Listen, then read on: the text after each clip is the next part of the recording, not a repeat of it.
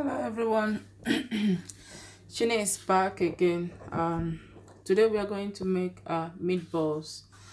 And I have here the beef mince and then I have breadcrumbs egg and black pepper. So I'm just going to I made it last night and I left it in the in the fridge I just brought it out. So I'm going to make the uh, the balls. And I have my oven on already. So because I cook my my meatballs in the oven before I put it in the sauce. So I'm just going to make the balls now.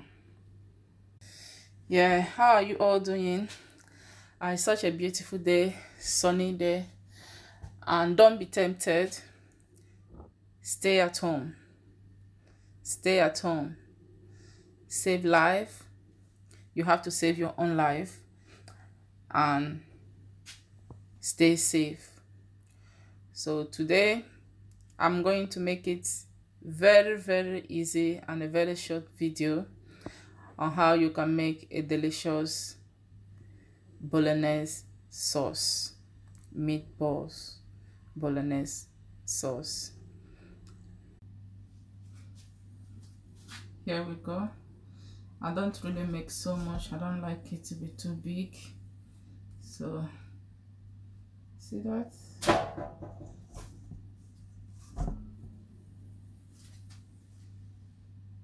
So, meatballs are ready to go into the oven.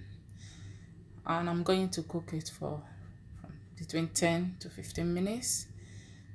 And then while while I'm getting the sauce ready.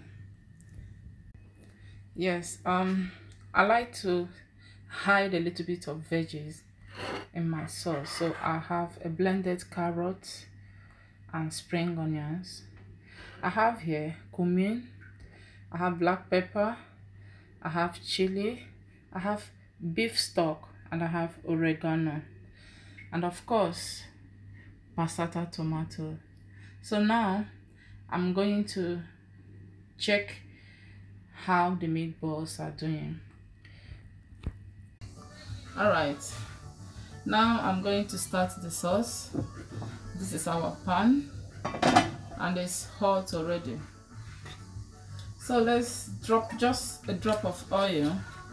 Will do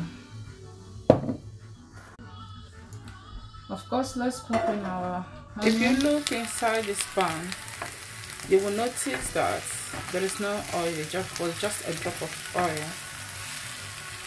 Because the meatballs sometimes the meat sometimes contains fat sometimes. And once you add it here it will give this a lot of oil so to avoid too many oil so this is what how I do it. Have you seen? It looks so brown now and they smell so fantastic. So now I'm ready to pop in my carrots and tomatoes and all the spices together and I'm gonna get the meatballs out and show you so look at these gorgeous meatballs.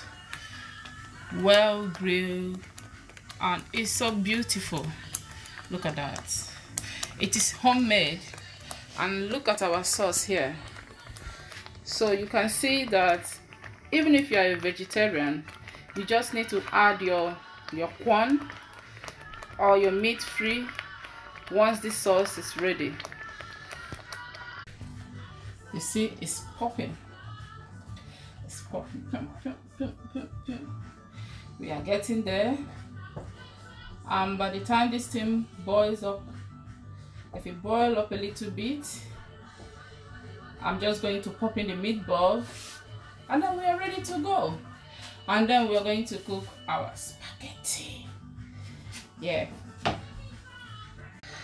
As you can see i am very very happy to present this to you i did lunch dinner beautiful from Chinny's Kitchen. Don't forget to subscribe.